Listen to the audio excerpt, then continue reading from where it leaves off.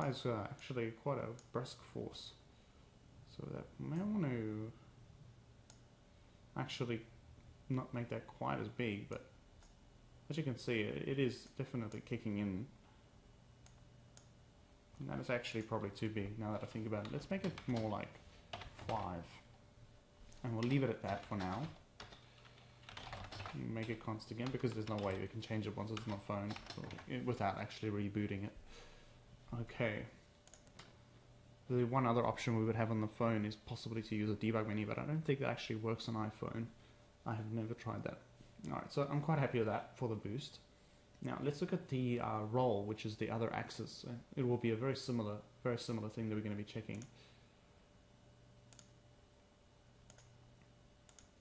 Okay, the roll is here.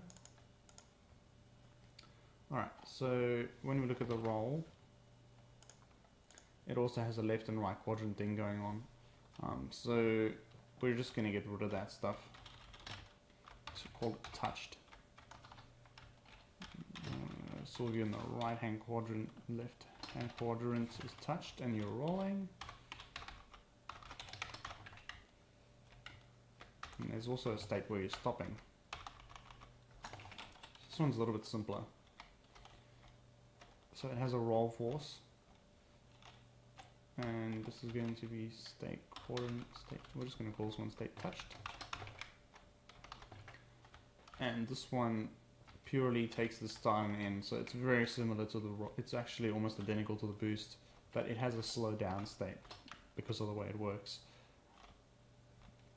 Okay, so as you can see, I commented this out during the porting process. So it's got a whole bunch of tests in here, which I think are kind of invalid. I think you should be able to roll while you're boosting, because think of it less as um, using your wheels and more as using the jet to change the direction. So we'll take those out. That's the old input model. model and the weapons quadrant test as well we're not going to use right now and we're going to reduce these tests down to a single test so it used to be that you had to move your hand from the right to the left part of the screen crossing a quadrant in order to start moving but that's obviously horrible so we're just going to make it look for whether you're in the left whether you're in the left quadrant and if you are in the left quadrant then you can start rolling and that will become touched and because it only applies this on the one axis, that should work fine in combination with our other boost. It's probably going to suffer from the same issue with the um, current point not being initialized, so we need to remember that. So it probably suffer from exactly the same issue. So that will fix that.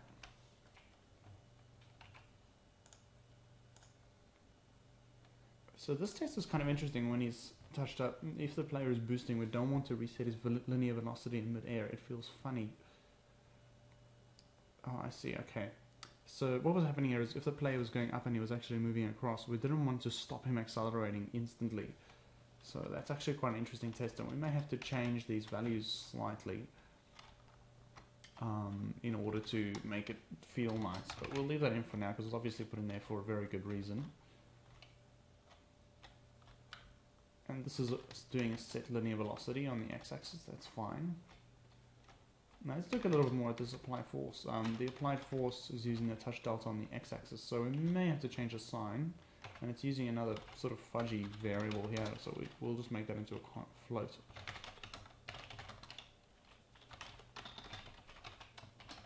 We'll call it delta XL factor.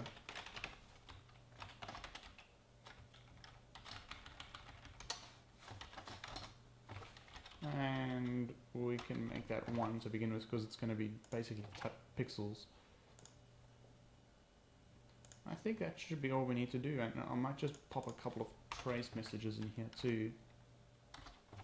So what we're actually going to do is we're going to disable the ones in the boost because this is now working so let's disable these for now. Ah, oh, I actually commented out too much stuff there. It's because the indents was misleading. Misleading Indents are always bad. Okay.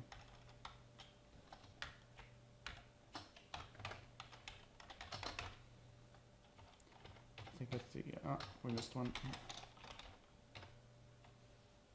I might actually leave it, leave that particular one in there because that's quite good to know that you're in that state, even when the other one is going on. But we'll get rid of the ones that print out every frame and that one is also quite valuable to know.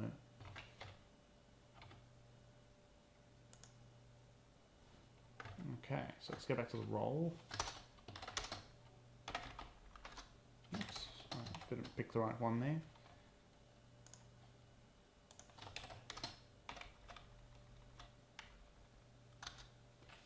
No, I keep hitting the wrong one. Okay, so now it's roll. Update. Oh, sorry, not state update, just called update. It's starting to get late. Okay.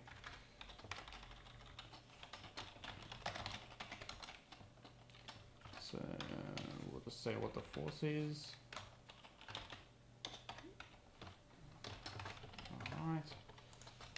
And also when we are entering our new states.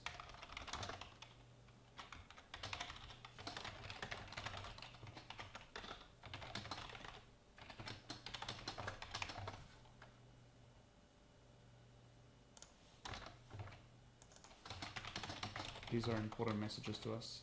So, and also in state slowing down, we can also go into state no touch. Excellent. So let's try that quickly in the simulator and see how we go. And once we get this one working relatively well, we should try it out on the iPhone and see what we get.